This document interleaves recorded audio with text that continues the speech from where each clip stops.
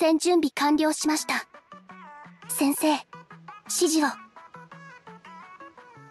最後にエビがたっぷり入ったサンドイッチを食べたのはいつだったのでしょう。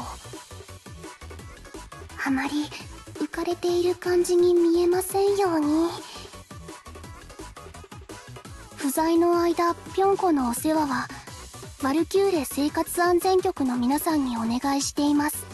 たまにぴょんこがラビット招待より生活安全局の皆さんに懐いているように見えて少し寂しくもありますが。が今日の潜入作戦のターゲットになります。さすがです先生。信じていました。